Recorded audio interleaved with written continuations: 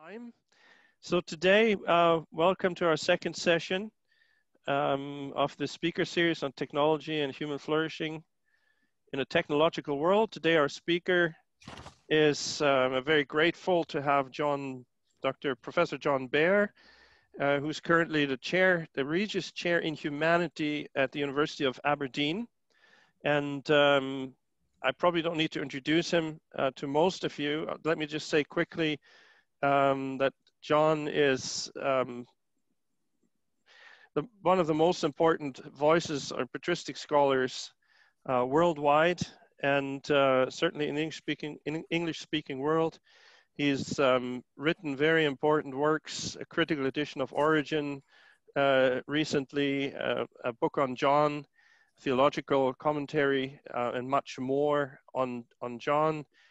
Um, and I promised John to keep the introduction very short, but I'm really grateful to have uh, such an expert to tie together for us and to give us some pointers from the patristic era forward into the world that we live in, the world uh, dominated or, you know, suffused by technology and what it means to be human. So, John, uh, without further ado, I want to give you the floor and uh, invite us to give us your lecture, please. Thank you. Thank you. Thank you, Jens. It's great to be with you. And thank you, everybody, for coming. And I look forward to discussion after all of this. So, there's no doubt about it. We've witnessed many epochal changes over the past few centuries industrialization, urbanization, globalization, leading to a threatening global cataclysm. And yet, in the midst of all these changes, it sometimes passes us by that we too have changed. And uh, perhaps we're not even the very same being, beings as were our ancestors. Herve Juvin, in his fascinating study called The Coming of the Body, originally in French and in English, um, he sketches out many of the ways in which science and medicine have redefined what it is to be human, and especially embodied. He argues our bodies are now plastic. They no longer smell. We have soap and deodorants in a way that people didn't have readily before. Our bodies can be sculpted more or less into whatever form we like. Most of us, he points out, no longer know what it is to feel physically tired after a long, hard day of work but instead we have to make time from our sedentary lifestyle, we have to make time for exercise. We live longer, we grow older than ever before, and yet we are ever more obsessed by youth and looking young. And we confidently expect that when our bodies malfunction, they can be repaired. So after surveying all of these and other changes, the very last line of his book is rather startling he says in the very last line, he says, Alone the body remembers that it is finite. Alone it roots us in its limits. Our last frontier, for how long? And even if, especially if it forgets, the body alone still prevents us from being God to ourselves and to others. That's the last line of his book. Appearing about the same time as Herve Juvin's book was Jeffrey Bishop's book called The Anticipatory Corpse Medicine, Power, and the Care of the Dying. In it, he analyzes the basis upon which the remarkable developments in medicine were based. He demonstrates how, based as it is upon the dissection of cadavers, dead bodies, the epistemologically normative body for modern medicine is in fact the corpse hence the title, The Anticipatory Corpse. In an essay written a little bit later, he puts it this way Under this epistemologically normative dead body, medicine's metaphysical stance has become one in which material and efficient causes are elevated, while formal and final causes are deflated. Put differently, the meaning and purpose of the body is deflated, and the medical, as I say, the mechanical function of the body is elevated. The body is merely dead matter in motion. And if its healthy, functioning organs are not donated when they're no longer useful to the patient, then that body is ordered to no good. So the good, the telos of the body, the human being as seen by medicine, which is based upon the dissection of dead bodies, the good, the telos of the body, is the right mechanical function of the parts of the body, either in itself, or if it's too late for that, then in others. And then that leads us into a whole quagmire of bioethical problems, especially when, as now is suggested, we should regard brain death as being merely a euphemism and a legal fiction so that organ donation could be practiced prior to the declaration of death. Such developments have changed our understanding of sickness and indeed the relationship between life and death. Sicknesses are now something uniquely physiological, independent of the afflicted person, so that rather than treating the patient, and remember, the patient means the one who suffers, physicians today treat or cure the illness or the afflicted organ through ever more sophisticated and abstract technical procedures, thereby depersonalizing medical therapy, isolating the patient from the disease with which they are afflicted or the disease which they have as something other than themselves. And this, in turn, and paradoxically, means that the patient is not now treated. The illness is attacked, the diseased organ is singled out and worked upon, but there's no attempt to help the patient understand or find meaning in their suffering. It's not the patient as a suffering one who's treated, but the disease which is attacked, while the patient suffers the treatment of modern medicine, hoping thereby to find healing, relief, and ultimately to regain life. So all that is left to the patient is to turn to the physician in whose hands their fate resides.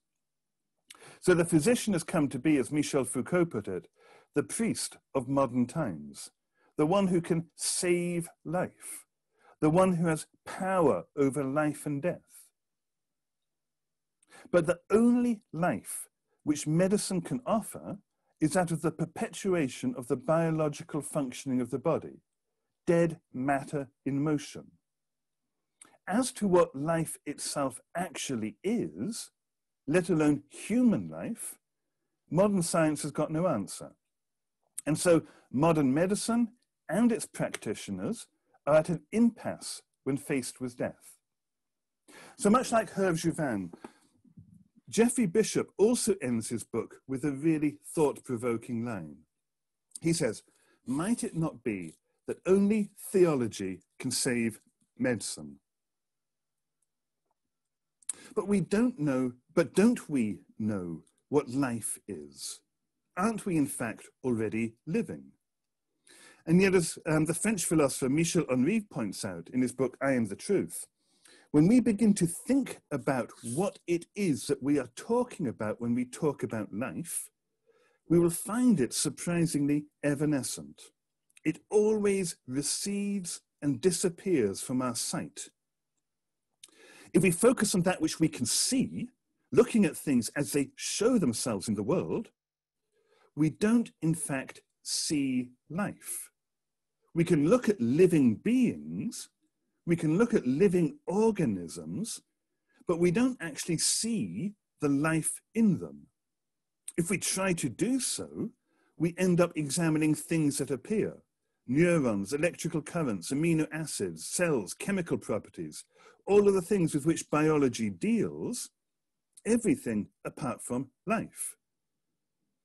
As he puts it, life never shows itself in the world. We see living beings, but never their life.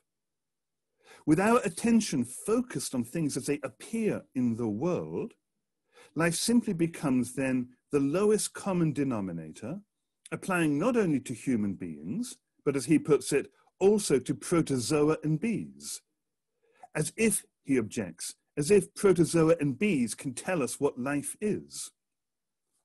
If we want to say that, yes, indeed, protozoa and bees are living beings, but that human beings are more than that, then perhaps we might follow a tradition that goes back to the beginning of human thought about such things, that human beings are more than living beings, that human beings are living endowed with logos, with reason, with language.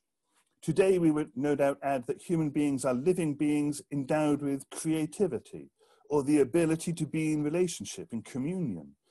And we would say that a flourishing human life means enjoyment of all of this and more.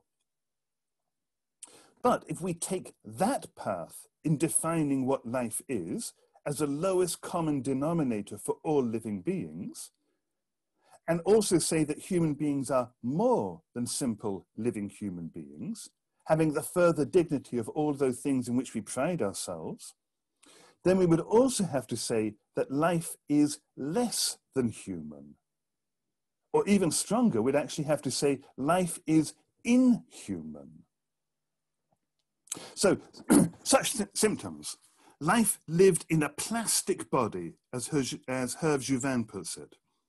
The reduction of the life we live to the inhuman, as Michel Henry observes. The separation of the disease from the patient, whose suffering now is not addressed, while the sickness with which they suffer is isolated, repaired, or removed or replaced, as Jeffrey Bishop points out with modern science, med medicine.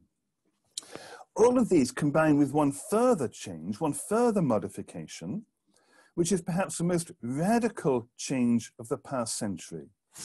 And that is the denial of death, which, of course, um, Ernest Becker pointed out in his classic work, The Denial of Death. The erasure of the visibility of the process of dying, the dead person, and death itself. Really breaking with the whole of human history to this point. Most of us in the West no longer see death today. And by that, I specifically mean those of us in the West, and even then, it's a particular privileged part of the West. And I mean specifically the whole liturgy of death. Caring for our dying, for our loved ones as they die, caring for them at home, laying out their bodies, washing them, preparing them, keeping wake over them with friends and neighbors before we take them to church, commend them to God, give them the last kiss, and entrust them to the earth. That whole liturgy of death.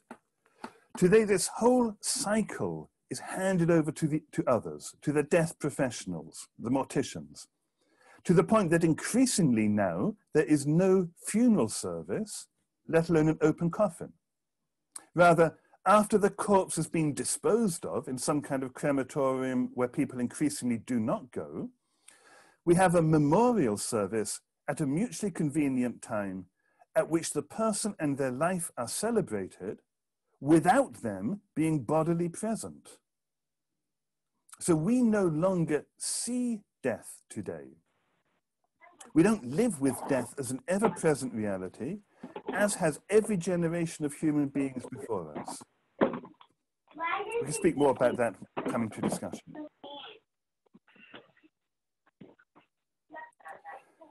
the changes that Herve Juvin and Jeffrey Bishop map. Can we, uh, Mark, I, I think your microphone's on. He's been muted, sorry. Okay, thank you. the changes that Herve Juvin and Jeffrey Bishop map are indeed radical, but the tension towards which they point is one that goes right to the heart of Western culture, it seems, from the beginning. Martha Nussbaum, in her essay Transcending Humanity, explores the way in which it is, it's exemplified in the choice that Odysseus has to make between remaining with Calypso, to live the untroubled immortal life of a god with a god, and so transcend his human nature, or returning instead to Penelope, to live as a human in human society, with all the vulnerability, tribulation, and certainty of death that this entails. So, what is it, Martha Nussbaum asks? What is it then that gives value, or what value is there in weakness, suffering, and ultimately death? Martha Nussbaum accepts that choosing the life of a god is indeed a desirable and intelligible choice. Because after all, if you choose the life of a god, one of the Homeric gods, Such a life doesn't suffer from any of the constraints that make human life transitory, limited, precarious, and often miserable. Moreover, alongside that negative motivation, there's also the positive motivation of transcendence itself, traced in Greek philosophical tradition, going at least as far back as Xenophanes. The, the ideal activity for a divine being is thinking. To the extent that we approximate to that, we begin to live a divine life. But we know Odysseus chose to return to his mortal bride rather than stay with Calypso. To have remained with Calypso would have brought his story to an end. He would no longer have the opportunity to demonstrate those virtues and achievements which are characteristically human, nor indeed be truly in love, because as she points out, when the gods, when the Greek gods fall in love, it is with mortal human beings. In another work of her called The Fragility of Goodness, she shows how the Greek poets understood the fact, as she put it, that, the, that part of the peculiar beauty of human excellence just is its vulnerability. Human beings are not gods, neither the transcendently anthropomorphized Olympians, nor are they purely an intellectual divinity in the philosophical tradition. So the truly good life for human beings is not the immortal life of the Olympians, nor ultimately one of contemplation, which is a good activity when subordinated to what is properly human. Rather, the good life for a human being is one that recognizes and accepts the full range of values. She finds that in Aristotle. Aristotle. She puts it, their nature and their goodness are constituted by the fragile nature of human life. Like a delicate plant, it's beautiful precisely because it's fragile. Although her work's not concerned with Christian theology, the centrality of this insight is central to Christianity. And she recognizes that in passing. So, going back to her essay, Transcending Humanity, she says, For Christianity seems to grant that in order to imagine a God who is truly superior, truly worthy of worship, truly and fully just, we must imagine a God who is human as well as divine, a God who has actually lived out the non transcendent life and understands it in the only way that it can be understood by suffering and death.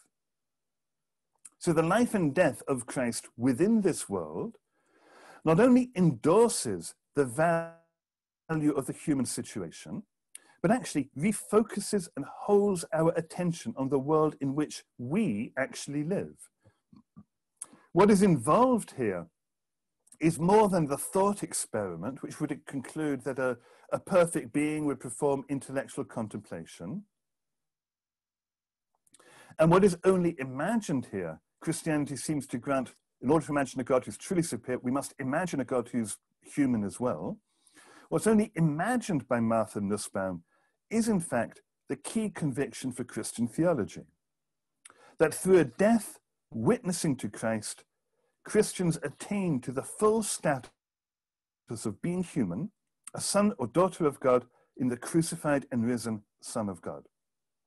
So, all of that by way of a preamble, um, addressing our current situation, taking our lead from Martha Nussbaum to see what's at stake in all of this I'm going to give a couple of examples from early Christianity which speak like this and then draw some conclusions from it.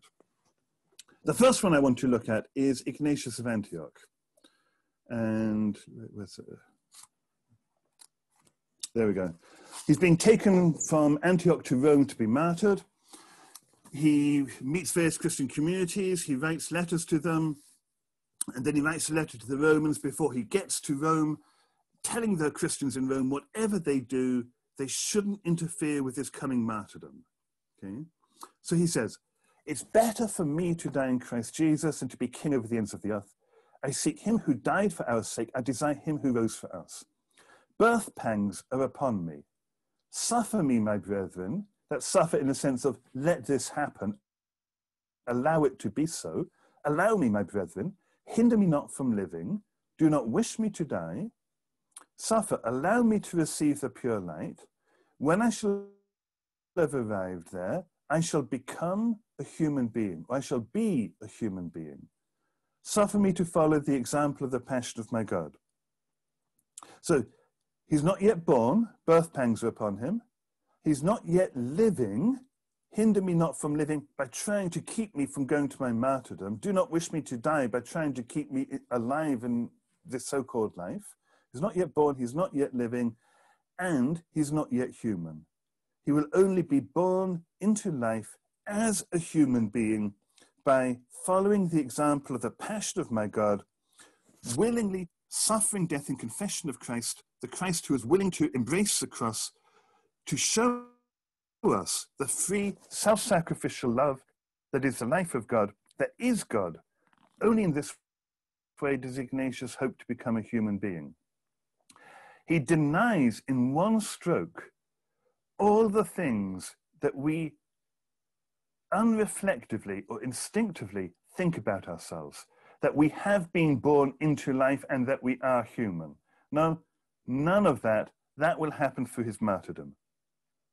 In my recent book on the Gospel of John, I argue that the background for Ignatius's words lie in the interplay between Genesis and the Gospel of John, an interplay which is already evident in their opening words, in the beginning, in the beginning. John's telling us that he's playing with Genesis in his presentation of Christ. So, going back to Genesis, Genesis 1, God speaks everything into existence. He says, Let it be. Let there be light, let there be a firmament, let the waters be gathered, let there be, let there be this, that, and the other. It is, it's good. End of the day, next day, he speaks more things into existence. Having spoken everything into existence by this divine command, this divine imperative, let there be. Having done all of that, he announces the only thing which is said to be his own, his own purpose and project. Let us make the human being in our image. It's introduced not with an imperative, but with a subjunctive. Not let there be a human being, but let us make a human being. It's his purpose and its project. He's spoken everything else into existence as, if you like, the backdrop on the stage. And now he begins his own particular project to make a human being. And this work, I argue in the Gospel of John, we could talk more about this later, is not complete until, again, only in the Gospel of John, Christ goes to the cross and says, as his last words from the cross, it is finished, tetelestai, or more accurately, it's been brought to perfection, it's completed, it's perfected, just before which Pilate announces, and again only in the Gospel of John, behold the human being. So read that way, and it seems to be that Ignatius and others are reading it that way. Scripture begins with God announcing his project, let us make a human being, and it finishes, it's brought to completion, it's brought to perfection with Christ himself saying, Not my will, but thine, let it be. Here is the true human being. And then Ignatius himself, following the passion of my God, passion of his God, going to his martyrdom, taking up the cross, seeing that as a birth into life as a human being. So, for early Christian theology, Christ is the first human being. And therefore, Adam is but a type of the one to come, as Paul puts it. Adam is a type of the one to come. The word type primarily means um, an imprint. Imagine a seal and wax. You stamp the wax, you get an imprint. That is a type. This is a prototype. So Adam's a type of the one to come. The one to come is yet to come, but actually, from God's point of view, Christ is already there um, the, the, the prototype has to exist before the stamp. Okay? So even if Adam's a type of the one to come, Christ is already the reality of whom Adam is but a type. So as Nicholas Cabasilas puts it at the end of the 14th century, it's not the old Adam who was a model for the new, but the new Adam for the old. Because of its nature, the old Adam might be considered the archetype for those who see him first, You know, we come into existence knowing Adam and we come to Christ.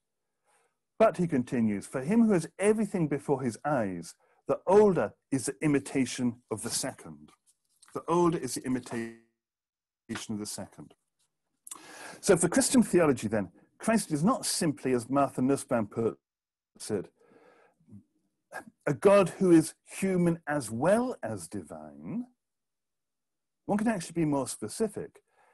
The crucified and risen Christ defines for us what it is to be God and what it is to be human. As Chalcedon puts it, perfect in his divinity, perfect in his humanity. And he does so together in one. Again, as Chalcedon puts it, one prosopon, one, one hypostasis. One could put it even more forcefully.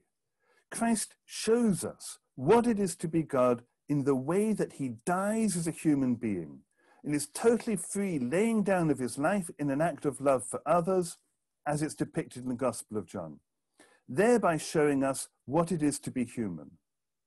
So, in the light of this, our existence, and indeed our so called life, appears rather differently. We've come into the world with no choice on our own part. As Dostoevsky puts it in The, the Demons, in the character of Kirillov, nobody asked me if I wanted to be born. We had no choice about the matter. We think we're free, but we had no choice about the matter. We're thrown into existence, an existence in which whatever I do, whether we like it or not, we die, culminates in death. As a given fact, our existence is characterized from the beginning by necessity and mortality. In fact, we are as good as dead from the beginning. And that's why Christ says in the Gospel of John, I've come that you might have life and have it abundantly. Evidently, as something which we do not yet have. I've come that you might have life. Moreover, as the Epistle to the Hebrews puts it, it is the fear of death which has held us in lifelong bondage as we try to hold on to our so called life. As Christ says, if you try to preserve your life, you'll lose it, no doubt about it. But, he continues, if you lose it for my sake, for the neighbor, for the kingdom, for all the things you can say, you gain it.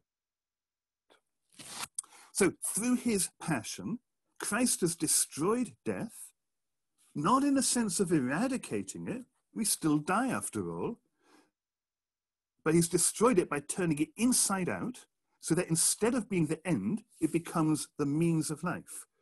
Death is the last enemy to be conquered, but it's conquered by death, so death is also the means of victory. Or as Maximus puts it, Christ has converted the use of death so that the baptized acquires the use of death to condemn sin, which in turn mystically leads that person to divine and unending life. Or again, as he puts it, death, once it has ceased having pleasure as its birth mother, the pleasure for which death itself became the natural punishment, death clearly becomes the father of everlasting life.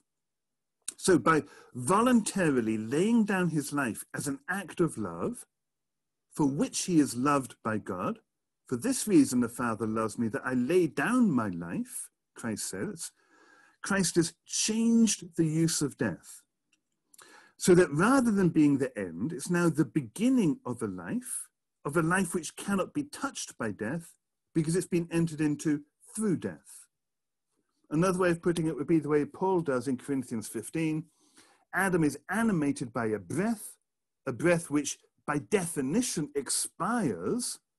We try to hold on to our breath, but it will expire. Um, whereas Christ, on the other hand, is brings about the life-giving spirit. So, having come into existence passively, with no choice on our part, in necessity and mortality, we now have the possibility in Christ and by Christ of voluntarily and actively being born into life.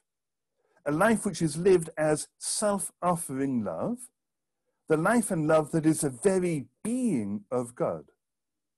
And in so doing, we become, in Ignatius's words, a human being. Remember, the only work which is said to be God's own work let us make a human being in our image and likeness, we are the ones who have to say, let it be. In fact, you could put it even stronger than that. One could say that if to be human is to live by, by um, living in this self offering love, self sacrificial love, then God could not have said, let there be a human being, because it wouldn't be a voluntary self offering of love. So um, that's from Ignatius. A couple more examples from Blandina, first of all.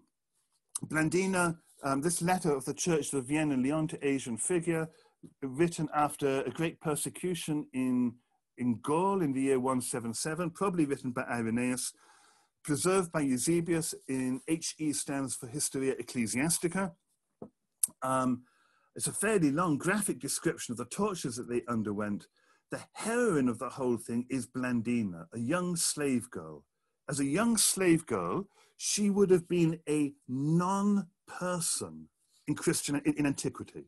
She would have been a, um, a human non habens personam, no status in society, the lowest of the low, the weakest of the weak, not having a person.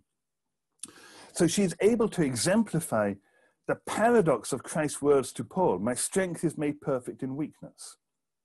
So it, it describes here in section 18 of the letter while we all trembled and her earthly mistress, her earthly mistress is also a Christian, but she's not named, who was herself one of the witnesses, the martyrs, we feared that on account of the weakness of her body, she would be unable to make bold confession.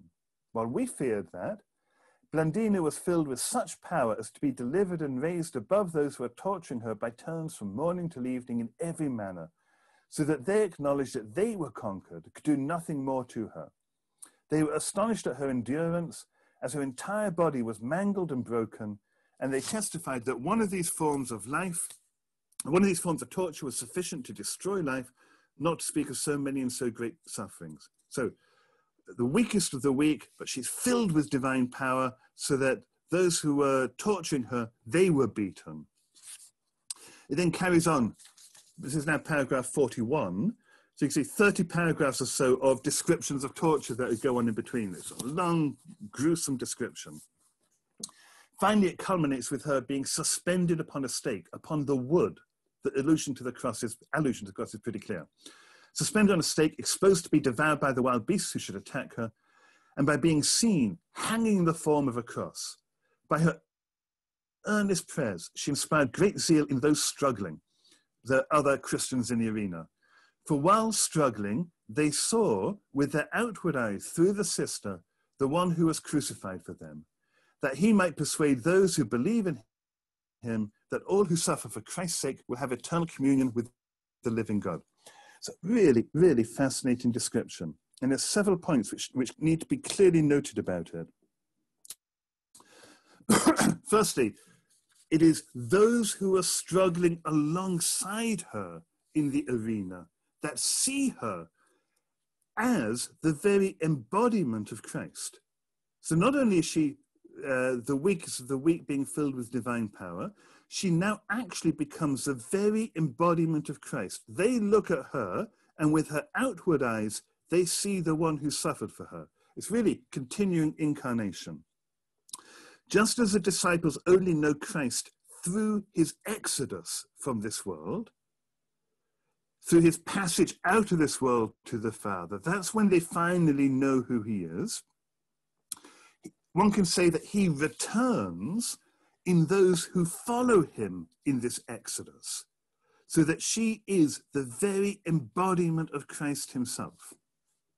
The second point is that this is only seen by those who are uh, in the arena with her. To see her as the embodiment of Christ, you've got to be in the arena.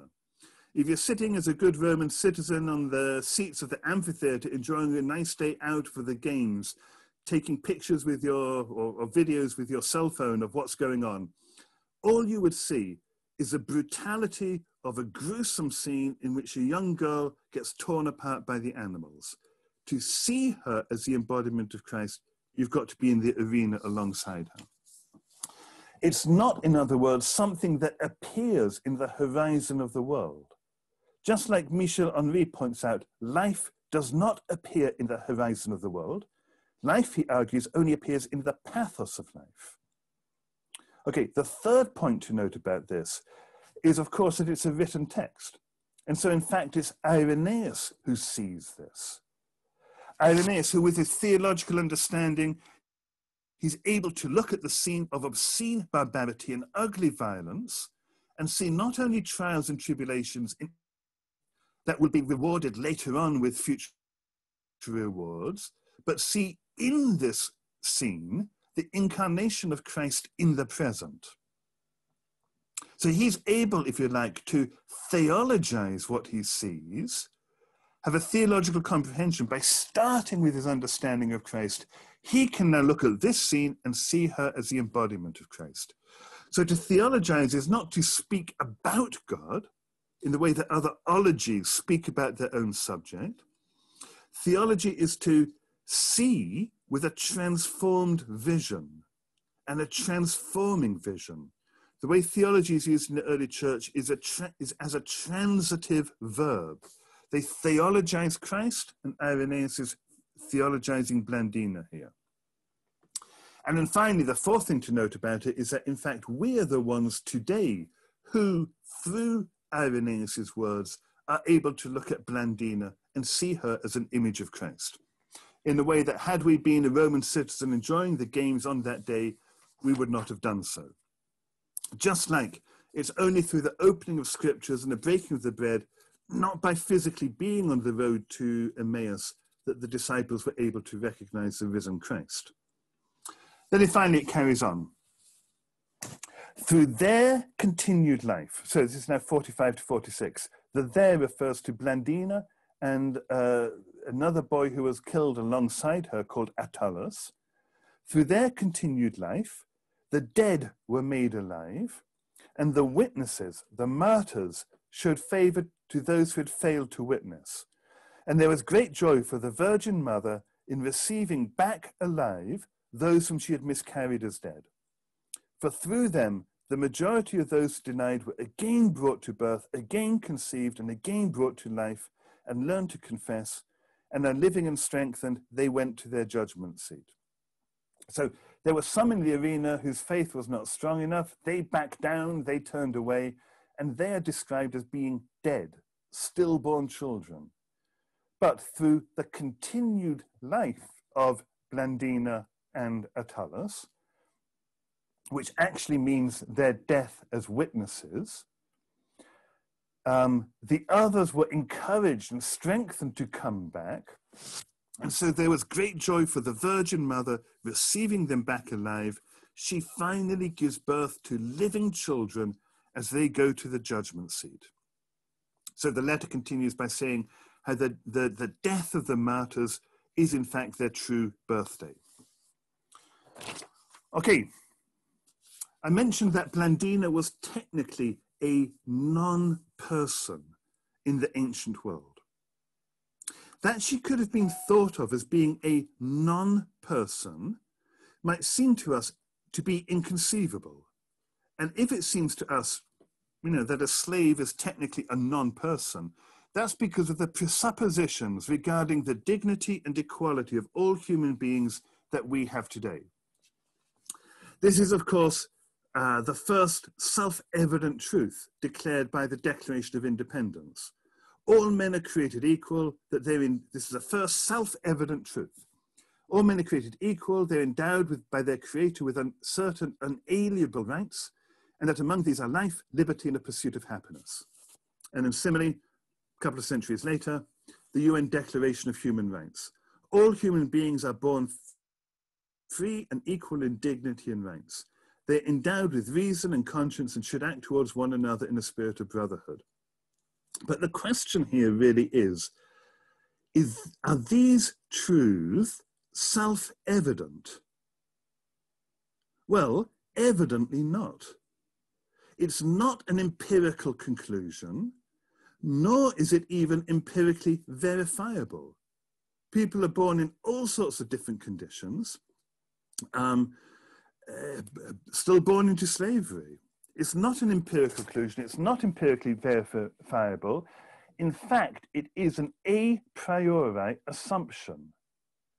In other words, it is in fact a statement of faith. Just as much as Irenaeus' description of Blandina as the embodiment of Christ is also a statement of faith. Moreover, as David Bentley Hart has argued persuasively, vigorously, but then does David do anything less than vigorously? The process by which we've come to hold these truths as being self evident is, in fact, the revolution that is Christianity. He points out that the gospel was a message of liberation for the ancient world, such that we can barely begin to understand today, largely because of the way that the gospel has changed our perception, and in changing our perception, has changed our reality to the point that we take it as a self evident truth that all human beings are created equal, born free and equal in dignity. The gospel proclaimed that Christ has, uh, Christ has triumphed over the powers of the world, all the things to which human beings have subjected themselves, but which Christ had shown to be nothing. His cross tamed the fearful world in which human beings had formerly lived so that the world could see could be seen to be not an experience, uh, uh, a realm in which all sorts of unknown things and fates and gods and demons would ever work, but rather the whole world could be seen as a gratuitous expression of divine love, ex nihilo, a place of beauty and wonder whose diversity reflects the very manifold splendor of God's own wisdom. And that the drama of salvation is enacted within the world working backwards to the beginning and forwards to the eschaton, gives the whole of creation its time and its history, a meaning and an orientation. And more specifically, it's in this, this new world, created by the Christian Revolution, that our notion of person emerges, especially in the debates about Christ himself. So he says, these are rather long quotations. I've got a couple of them um, that bring me to the end of my talk. Uh, but the, you know, when you see David's writing, it's, it's striking writing. He says, the rather extraordinary inference to be drawn from this doctrine of Chalcedon is that personality is somehow transcendent of nature. A person is not merely a fragment of some larger cosmic or spiritual category, or more perfect or more defective expression of some abstract set of attributes in the light of which his or her value, significance, legitimacy are proper places to be judged. This man or that woman is not merely a specimen of the general set of the human, rather his or her human nature is only one manifestation and one part of what he or she is or might be. Personality is an irreducible mystery, somehow prior to and more spacious than everything that would delimit or define it, capable of exceeding even its own nature in order to embrace another ever more glorious nature. This immense dignity, this infinite capacity, inheres in every person, no matter what circumstances might for now seem to limit him or her to one destiny or another. No previous Western vision of the human being remotely resembles this one. No other so fruitfully succeeded in embracing at once the entire range of finite human nature in all the intricacy of its inner and outer dimensions, while simultaneously affirming the transcendent possibility and the strange grandeur present within each person. So, the result of all of these debates is to bring about a new understanding of the human being. He carries on. What resulted from this theological reflection is a coherent concept of the human as such, endowed with infinite dignity in all its individual moments, full of powers and mysteries to be fathomed and esteemed, and unimaginably exalted of a picture of the human person, made in the image destined to partake of the divine nature, without thereby diminishing or denigrating the concrete reality of human nature, spiritual, intellectual, or carnal. So the gospel has brought about a very different way of looking at the world and looking at ourselves. Now, of course, this didn't happen immediately nor did every Christian society always live up to this calling. But he points out, it required an extraordinary moment of awakening in a few privileged souls, and then centuries of the relentless and total immersion of culture in the Christian story to make even the best of us conscious of, or at least able to believe in, the moral claim of all other persons upon us, the splendor and the irreducible dignity of the divine humanity within them, that depth within each of them that potentially touches the, upon the eternal. In the light of Christianity's absolute law of charity, we came to see what we formerly could not see. The autistic or the Down syndrome or otherwise disabled child, for instance, whom the, for whom the world can remain a perpetual perplexity, which can too often cause pain, but perhaps only vaguely and fleetingly charm or delight. The derelict or the wretched or broken man or woman who's wasted his or her life away. The homeless, the utterly impoverished, the diseased, the mentally ill, the physically disabled, exiles, refuge, refugees, fugitives, even criminals and reprobates. To reject, turn away from, or kill any or all of them would be, in a very real sense, the most purely practical of impulses. To be able, however, to see in them not only something of worth, but indeed something potentially godlike, to be cherished and adored, is the rarest and most ennoblingly unrealistic capacity ever bred within human souls. To look on the child whom our ancient ancestors would have seen as somehow unwholesome or as, worth, as a worthless burden, and would have abandoned to fate, and to see in him or her instead a person worthy of all affection, resplendent with divine glory, ominous with an absolute demand upon our consciences, evoking our love and our reverence, is to be set free from merely elemental existence and from those natural limitations that the pre Christian persons took to be the very definition of reality. It really is the most remarkable and inspiring vision. But a vision which depends, as it were, upon this divine exchange, to see the divine strength in human weakness, to see life in death, to see the very word of God in flesh, is always going to appear a folly and a scandal for human thought. It will necessarily be a fragile vision and can all too easily be forgotten. So, just as um, finished his works with that provocative question, as did Jeffrey Bishop with his provocative question, can maybe only theology can save medicine? Uh, David finishes his section with likewise a, uh, a provocative question. He says, How long can our gentler ethical prejudices, many of which seem to me to be melting away with fair rapidity, how can they persist once the faith that gave them their rationale and meaning has withered away? Love endures all things, perhaps, as the Apostle says, and is eternal. But as a cultural reality, even love requires a reason for its preeminence among the virtues. And the mere habit of solicitude for others will not necessarily survive when that reason is no longer found.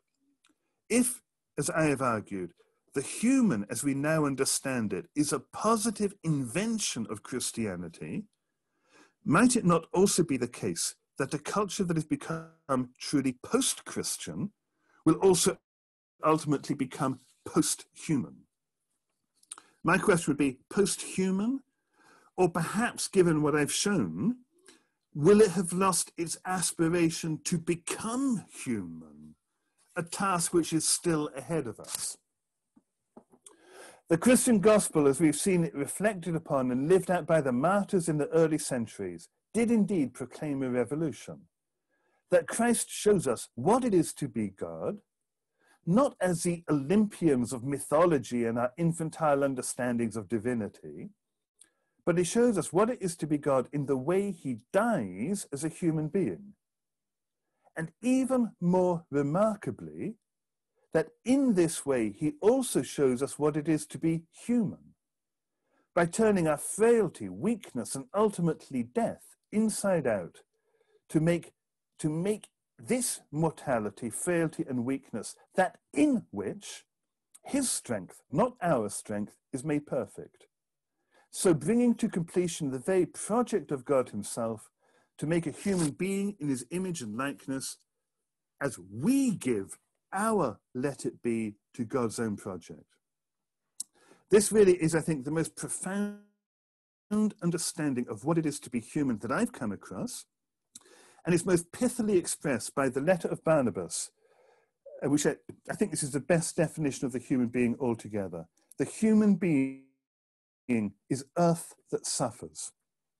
It's this vision, and this vision alone, that enables us to assert that despite all the evidence before our eyes, or rather because of our transformed vision in the light of Christ, it's this vision and this vision alone that enables us to assert that those who would not otherwise even be counted as persons are in fact truly human, and perhaps even more so in their weakness than we in our apparent strength and security where we think we're going to live forever because medicine will always fix it.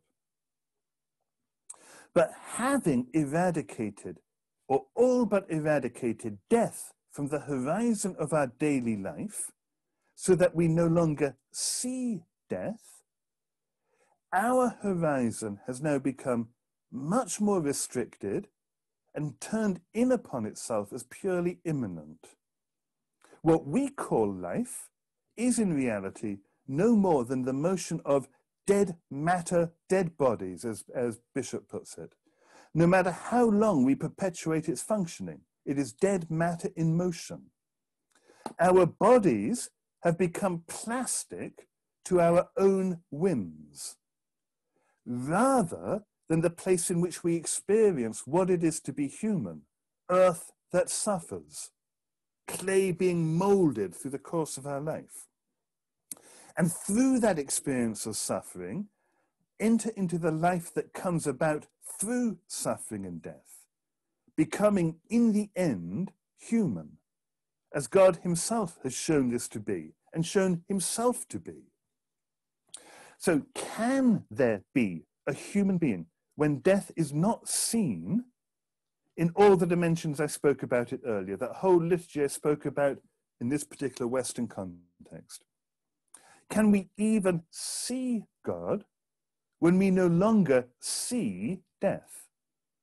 If Christ shows us what it is to be God in the way he dies as a human being, if we don't see that liturgy of death and participate in it, can we even see God?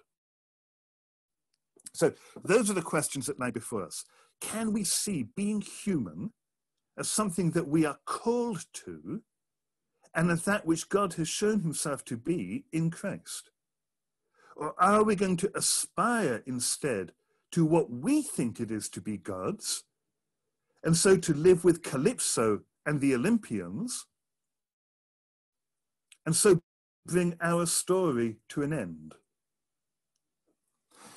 And yet, there is still hope that we can still learn to aspire to become human because no matter how much we project our aspirations elsewhere, we will still suffer and we will still die. Going back to that quotation from Herve Juvin, alone the body remembers uh, that it is finite. Alone it roots us in its limits, our last frontier.